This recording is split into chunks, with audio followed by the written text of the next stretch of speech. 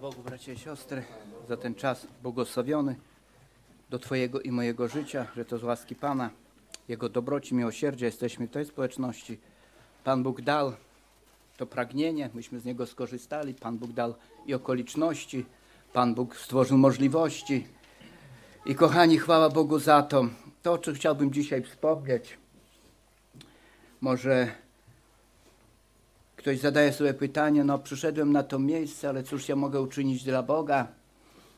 Nie staję za kazalnicą, nie mam jakichś takich szczególnych duchowych predyspozycji ku temu. Dlatego też dla tych, którzy no może w jakiś sposób czują się i odtrąceni, czy niedowartościowani, chcę powiedzieć, że każdy z nas jest potrzebny dla Boga, każdego z nas Pan Bóg miluje, każdy z nas ma w oczach Bożych swoją wartość szczególną, swoją cenę. Jest to krew Jezusa Chrystusa, dzieło odkupienia. I chciałbym właśnie dla tych osób, tak na sam początek, przeczytać parę wersetów ze Słowa Bożego. Już dzisiaj słyszeliśmy jeden z psalmów. Chciałbym również przytoczyć, wiecie, słowo psalm ma szczególne znaczenie. W, w języku oryginalnym słowo psalm znaczy pieśni śpiewane przy dźwięku instrumentów, natomiast w hebrajskim języku słowo psalm znaczy hymn pochwalny. Hymn pochwalny na chwałę Bożą. I psalm 105, parę wersetów chciałbym pozostawić do piątego włącznie. Wysławiajcie Pana, wzywajcie imienia Jego, głoście narodom czyny Jego. Śpiewajcie Mu, grajcie Mu, opowiadajcie o wszystkich cudach Jego. Chlubcie się Jego imieniem świętym. Niech się raduje serce szukających Pana. Szukajcie Pana i mocy Jego. Szukajcie zawsze oblicza Jego. Pamiętajcie o cudach, które uczynił, o znakach i wyrokach ust Jego. Może do tego miejsca. Zobaczcie, dziesięć rzeczy, około dziesięciu, które każdy z nas ma przywilej, możliwość, a również i prawo do tego, aby uczcić Boga w swoim sercu, aby wyrazić Mu swoją wdzięczność, aby zwrócić swój wzrok na Boga i oddać to, co Mu się należy. Dlatego też, kochani, i dzisiejszy czas, i ten poranek, wdzięczny jestem Bogu za to słowo, które już było czytane, ale chciałbym również usłużyć na temat, którym, kiedy go tak o nim rozmyślałem i rozważałem, jest wciąż aktualny, wciąż żywy. Wciąż z tym mamy styczność. Może dotyczy on każdego z nas. I fragment, o którym chciałbym dzisiaj się podzielić, może i był niedawno czytany, ale kiedy dziś rano taka myśl w moim sercu się zrodziła, że po dzień dzisiejszy wielu z nas zadaje Bogu pytania, po wielu, wielu z nas po dzień dzisiejszy przechodzi próby, Wielu z nas po dzień dzisiejszy ma zobowiązania wobec Boga, ma zobowiązania wobec drugiego człowieka. Wielu z nas, kochani, po dzień dzisiejszy płaci podatki i nie bez powodu wymieniam to słowo, bo fragment, o którym chciałbym się dzielić, ma szczególne znaczenie i powinien mieć szczególne znaczenie, jak całe Słowo Boże w życiu chrześcijanina. I chciałbym do tych się zwrócić, którzy mają swoje Biblie. Wiemy, że będziemy korzystać z techniki, abyśmy wspólnie otworzyli Ewangelię świętego Łukasza, 20 rozdział, 19 werset dla wprowadzenia i 20 po 26 włącznie. Zobaczmy, jest to zdarzenie, pewna okoliczność w życiu Jezusa Chrystusa. Nie pierwsza, wielokrotnie Pan Jezus był wystawiany na próbę, wielokrotnie był kuszony nie tylko przez wroga dusz ludzkich, przez szatana, przez diabła, ale również kuszony, poddany próbom przez ludzi, którzy go otaczali, również i religijnych, tak zwanych duchownych. I czytamy tak, a uczeni w piśmie arcykapłani chcieli go dostać w swoje ręce w tej właśnie godzinie, lecz bali się ludu, Zrozumieli bowiem, że przeciwko nim skierował to podobieństwo. Śledzili go więc, nas, naslali szpiegów, którzy udając sprawiedliwych, sprawiedliwych, mieli go przylapać na jakimś słowie. aby go wydać władzy i mocy starosty. I zadali mu takie pytanie: Nauczycielu, wiemy, że dobrze mówisz i nauczasz, i nie masz względu na osobę, lecz zgodnie z prawdą drogi Bożej nauczasz. Czy godzi się nam płacić podatek cesarzowi, czy nie? Lecz on, przejrzawszy ich podstęp, rzekł do nich: Pokażcie mi denar, czyją nosi podobiznę i napis. A oni rzekli: Cesarza. On zaś rzekł do nich: Oddawajcie więc cesarzowi, co jest cesarskie, a Bogu, co jest Boże. I nie zdolali go złapać na słowie przed ludem, a nie mogąc wyjść z podziwu nad jego odpowiedzią, zamilkli. Kochani, czasami bywa tak, że sam Pan Bóg zamyka usta ludzi, którzy przychodzą z próbą, y, z pokuszeniem, z takim doświadczeniem. Wiecie, właśnie w tym fragmencie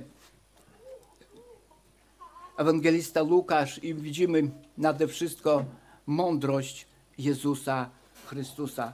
Ten dar, który otrzymał od Boga Ojca i który właśnie w tym fragmencie tak szczególnie możemy zauważyć. Ale kochani, chciałbym, abyśmy troszkę tak weszli bliżej w tą historię. My tak no wiemy, bracie, no z podatkami ja nie mam problemu, wszystko jest na bieżąco, nie mam żadnych długów, zaległości. Ale gdybym miał nadać tytuł tej usłudze, on by brzmiał, czy jesteś czyimś dłużnikiem? Czy jesteś, czy ja jestem czyimś dłużnikiem? Zobaczmy na sam, samą okoliczność, na samą, jak gdyby takie, taką otokę tego wydarzenia, tego zdarzenia. Ja to nazwałem, kiedy tak rozmyślałem nad ten temat, to jest, ja bym powiedział, bardzo krótkie kazanie Jezusa Chrystusa. Wiecie z czym? Z rekwizytem. On nie tylko wypowiedział słowa, ale przemówił również w sposób obrazowy, pokazując jedną monetę i dał lekcję dla każdego, kto tam był, każdego, kto go słuchał, ale również i dla nas. My dzisiaj czytając tą historię, wierzymy w to, że Słowo Boże jest żywe, że Słowo Boże jest skuteczne, że Słowo Boże całe jest Pismo przez Boga natchnione. I zobaczmy trzy podobieństwa, które Pan Jezus wypowiedział, wracając do tego dziewiętnastego wersetu. One wywołały pewien skutek. I te podobieństwa one były, były na tyle zrozumiałe, wyraziste. Wiecie, nawet ci uczeni w piśmie, faryzeusze, oni zrozumieli. Oni zrozumieli to przesłanie, że to pod ich adresem Pan Jezus wypowiada te zarzuty, że te podobieństwa dotyczą ich, ich postawy, ich charakteru, ich życia. I kochani, zobaczmy, jest powiedziane, że w tym momencie uczeni w piśmie arcykapłani chcieli go dostać w swoje ręce. Nie wiem, czy zwróciliście uwagę, ale wielokrotnie w Ewangeliach jest powiedziane, że nie nadeszła jego godzina. I w tym momencie nic się nie stało, co by zagrażało życiu Jezusa Chrystusa. Ale musimy również pamiętać o tym, że ludzkie zabiegi i starania w tym kierunku ludzie nie przestawali, nie poprzestawali. Oni chcieli go przylapać na słowie. Oni chcieli go usidlić, w innym miejscu jest powiedziane słowem. Oni go podpatrywali, a tutaj posunęli się jeszcze dalej. Wiecie do czego? Oni weszli w porozumienie z Herodionami, ci, którzy sprzyjali, to była partia polityczna. Oni sprzyjali Herodowi, królowi, no i przyszli, wynajęli szpiegów, przychodzą do Pana Jezusa Chrystusa. I wiecie, zadam wam jedno pytanie. Czy to, co powiedzieli o Jezusie Chrystusu, Chrystusie było prawdą czy nie? To, że jest szczery, to, że na poprawdzie naucza Bożej nauki, Bożego Słowa, wykłada, to, że nie ma względu na osobę, prawda? To wszystko, kiedy tak rozmyślałem nad osobą Jezusa Chrystusa i jego charakterem, jest to jeden z szczególnych fragmentów charakterystyki Jezusa Chrystusa. Jako Boga, ale również jako człowieka. To, jaki ma stosunek do człowieka, to, jaką prawdą się posługuje, to, że jest szczery, to, że nie czyni różnicy między jednym człowiekiem a drugim, bogaty, biedny, taki kolor skóry, taki kolor skóry. Może ktoś ma stanowisko, on przyjmuje każdego. I kochani, zadają to szczególne pytanie. Czy należy płacić podatek cesarzowi? I gdybyśmy popatrzyli na samą historię i okoliczności tamtych czasów, wiecie, nam się wydaje, no, gdybym zapytał was, czy lubicie płacić podatki, po dzień dzisiejszy płacimy, prawda? Może niektórzy nawet nie wiedzą w jakiej skali, w jakim stopniu, ale Biblia nam mówi, że swoją dobrocią król umacnia swój tron, a kto ściąga nadmierny podatek, ten niszczy własny kraj.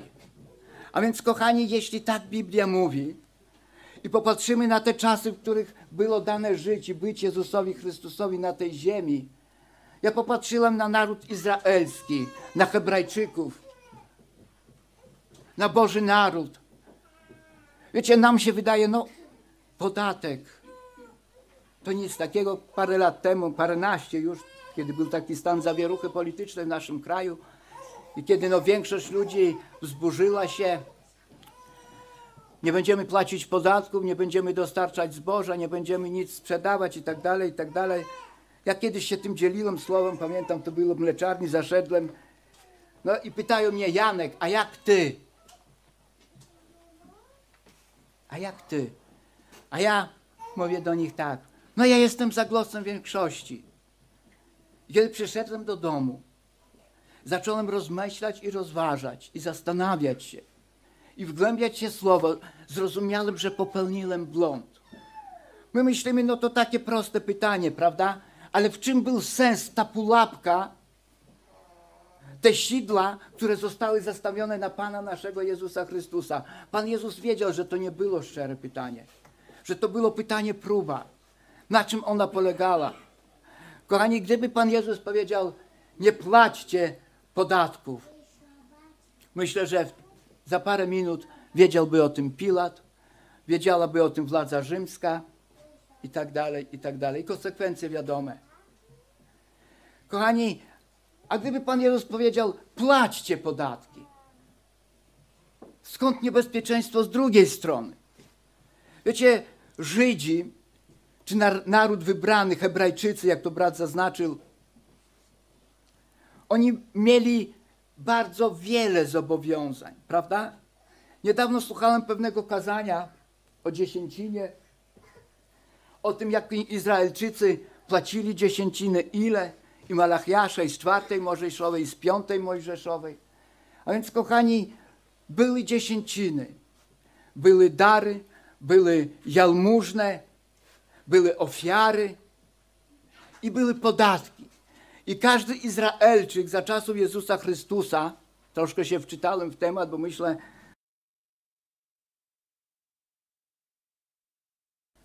wiadomo. Ale chcę, abyśmy zobaczyli tą atmosferę, dlaczego o tym mówi Biblia i jakie jest stanowisko Bożego Słowa w tej kwestii, prawda? A więc każdy Izraelczyk płacił minimum trzy podatki. Pierwszy to był podatek rolny. No wiadomo, dotyczył rolników, ci, którzy mieli winnice, pola i tak dalej. I to było jedna dziesiąta części. W zbożu, w oliwie winie było jedna piąta.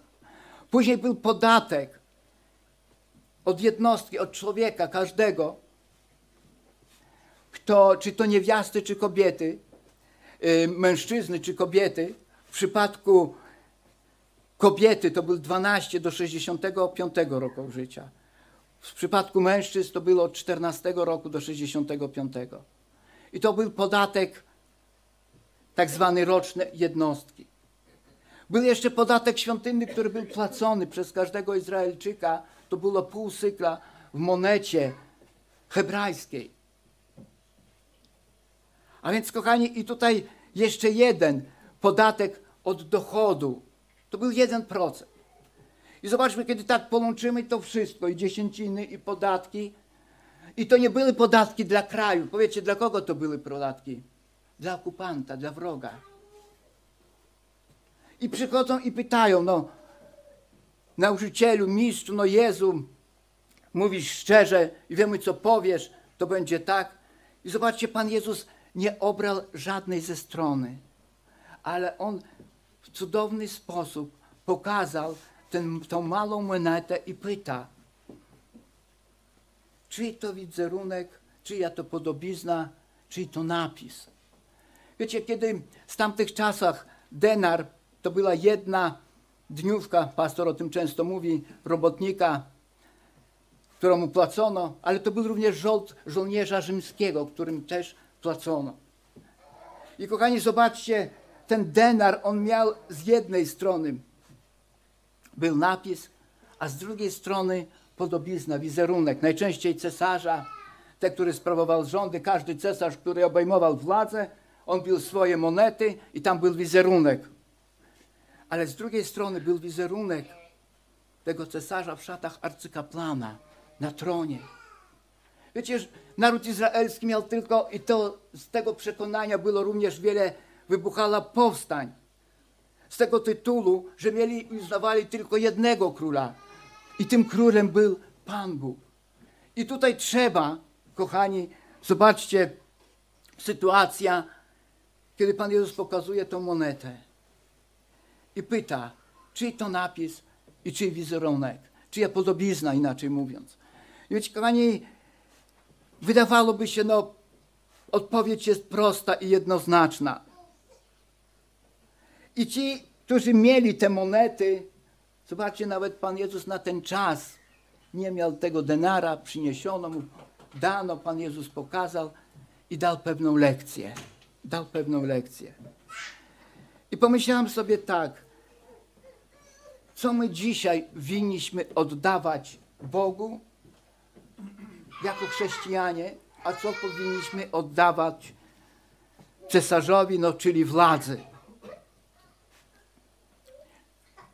Pan Jezus nie naświetlił tego tematu jeszcze głębiej, ale chciał pokazać i pokazał nam, że ty i ja masz zobowiązania wobec Boga i ty i ja masz zobowiązania wobec tego, który ma nad tobą władzę tutaj ziemską. Nie wiem, czy słyszeliście takie stwierdzenie, że chrześcijanin jest obywatelem dwóch ojczyzn. Pierwsza to ten kraj, w którym żyjemy, system, również i podatkowy. I drugie to jest ta nasza niebiańska. I teraz jak ty i ja i każdy z nas na tym miejscu wywiązuje się z tego, prawda? Wiadomo,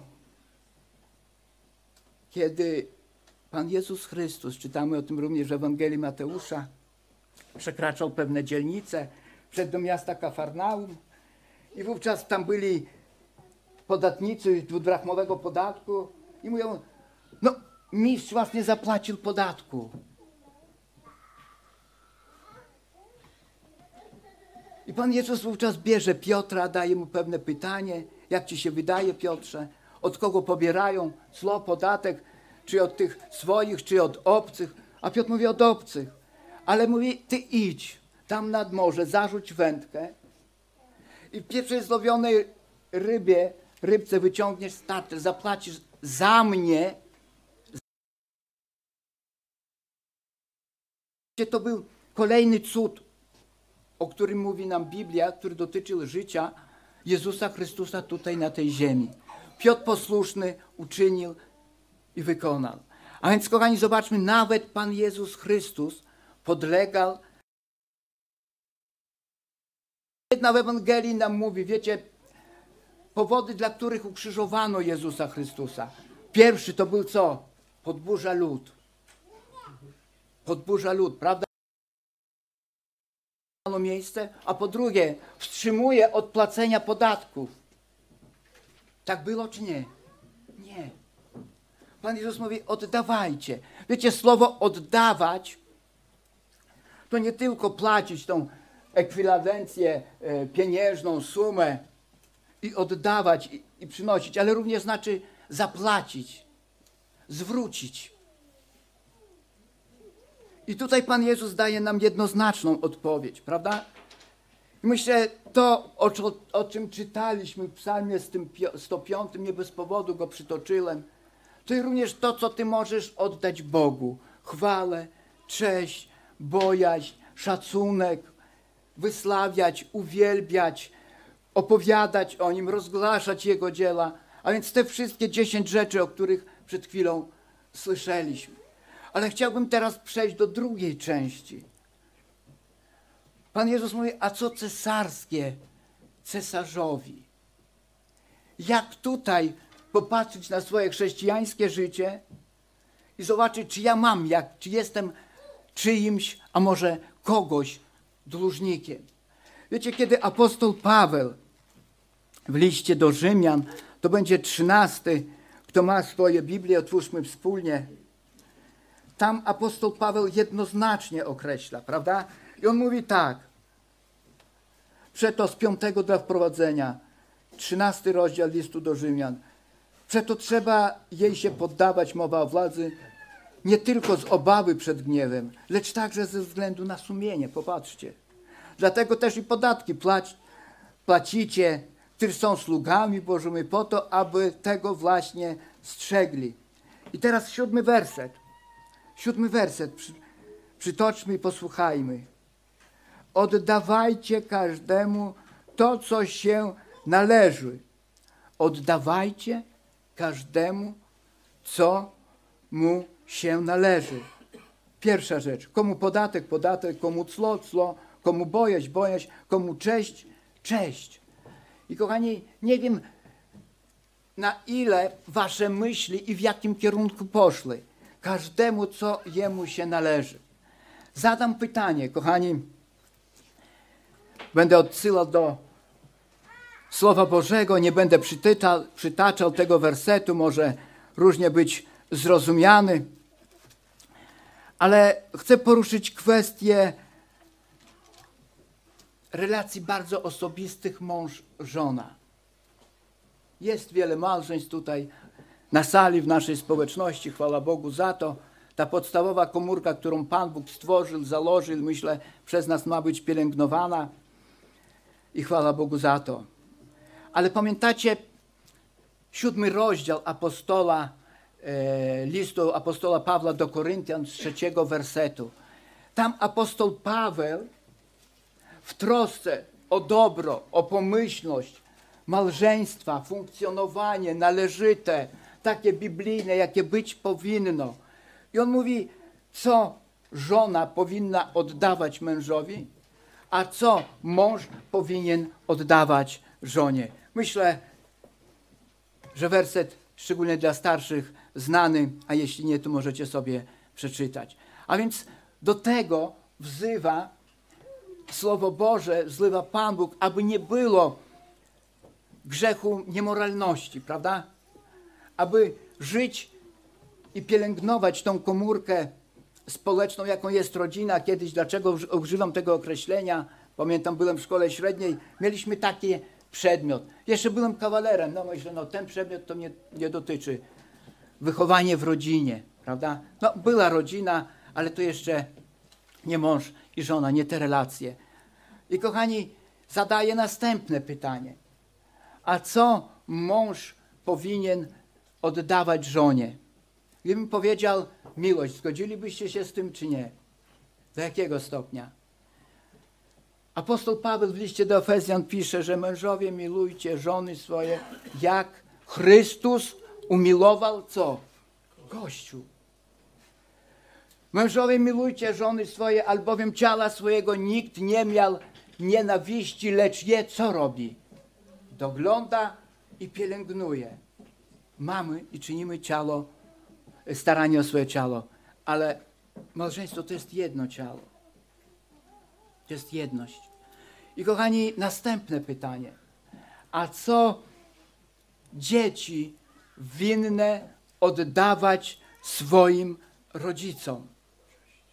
Dzieci, bądźcie co? Posłuszne rodzicom swoim. Bo to jest rzecz jaka? Słuszna. Oczych Bożych. Do tego wzywa Słowo Boże. I o tym mówi. Kochani, a ostatnio, nie tak dawno, otworzyłem list do Efezjan, szósty rozdział, i tam jest coś dla nas, tatusiów, ojców, jak Biblia mówi. A wy, ojcowie, nie pobudzajcie do gniewu dzieci swoich, lecz, a wy, ojcowie, jak myślicie, co winniśmy oddawać swoim dzieciom? Lecz napominajcie i wychowujcie je w karności dla Pana.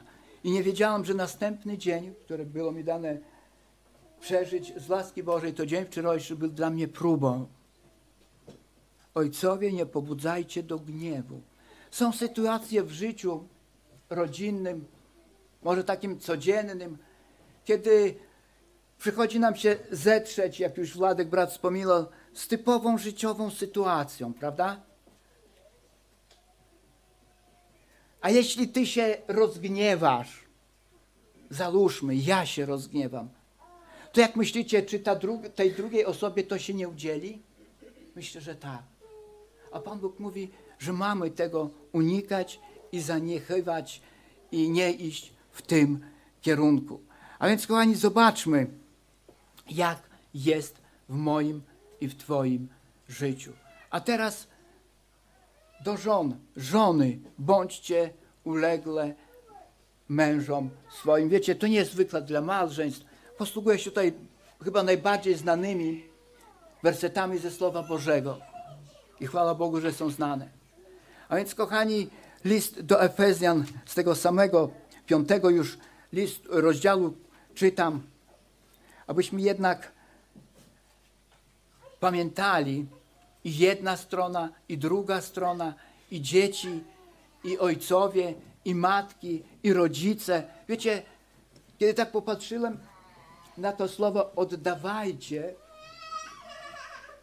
ono rzuca pewne światło na moje i Twoje chrześcijańskie życie. Czy oddaję? Czy oddaję? Wiecie, popatrzyłem na Jezusa Chrystusa i na Jego życie. Kiedy miał 12 lat, Biblia nam mówi, i stało się coś, co dla wielu było niezrozumiałe, kiedy szukała Maria i Józef Jezusa Chrystusa i po trzech dniach go znaleźli.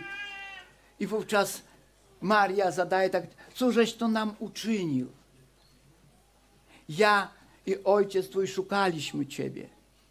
A Pan Jezus mówi, czy nie wiecie tego, co ojca ja być muszę? Ale ten werset, na który chciałbym zwrócić uwagę, jest powiedziane, że od tej pory był im jaki? Uległy.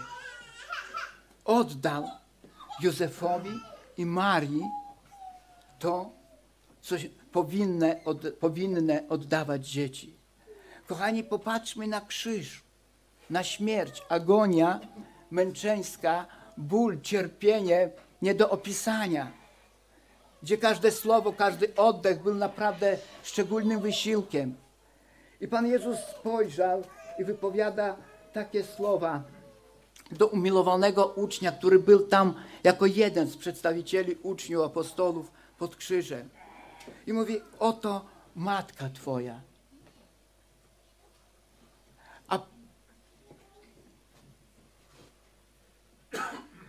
A, a co powiedział do Marii? oto syn twój. I od tej pory jest powiedziane, ów uczeń wziął ją gdzie? Do siebie. Oddał, pamiętał w ostatnich chwilach tutaj ziemskiego życia o swojej matce Marii. Chociaż nigdy jej tak nie nazwał. Nie czytamy nigdzie w Ewangeliach, aby Pan Jezus nazwał Marię matką. Nigdzie. Niewiasto i kobieto. Ale kochani, to nie, to nie wykluczyło tego, co jej oddał. Nie tak, jak to dzisiaj jest pojmowane, interpretowane i wyolbrzymiane. Dlatego też zastanówmy się, ty i ja.